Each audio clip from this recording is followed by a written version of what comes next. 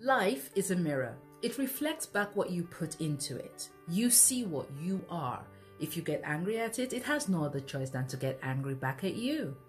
The outer world follows the inner world, not the other way around. So, knowing yourself means being able to look at your reflection in the mirror and having the honest discussion to get the clarity about who you are without judgment and evaluation. It is your responsibility. No one else can do this.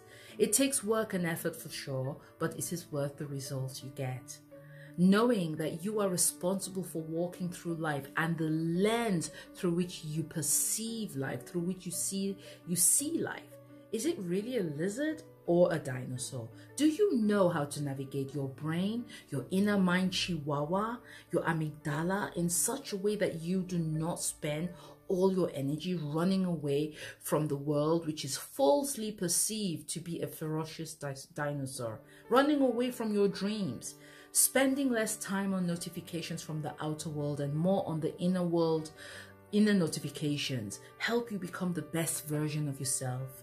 A simple truth is, if you do not do the work 100% necessary to know yourself, the one you boldly see in the mirror, and trust to self regulate as life happens, you will find yourself struggling to bring about change or thrive personally and professionally.